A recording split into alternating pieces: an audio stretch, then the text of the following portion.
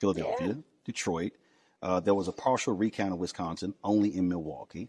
The comments that Show is some freaky shit. he just made about Detroit, uh, basically being a living hell. Uh, and uh, I'll admit, Oakland, uh, D.C., pretty damn, I feel like a mother effing beer. Chicago. pretty damn ad. Come y'all- on. pretty, pretty, Come pretty, on. pretty good damn ad y'all dropped out. I actually liked it.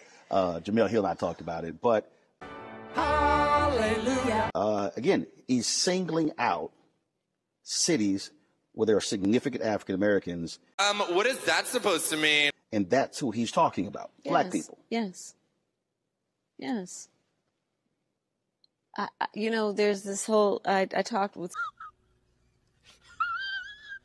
somebody once who said, you know, if you just look at where the the the stars are in the sky, Settle down, baby.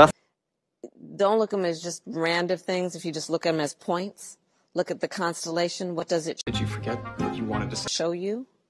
So you just outlined it, Roland. What does it show you? That the cities Right. that he picks on in terms of black population or black mayor or both.